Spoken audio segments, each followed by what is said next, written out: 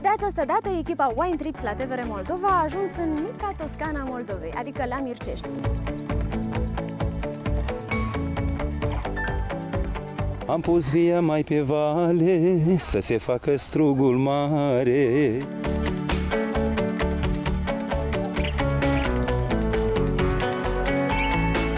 Vă propun să uh, participăm la o procedură care se numește scufundatul căciulei.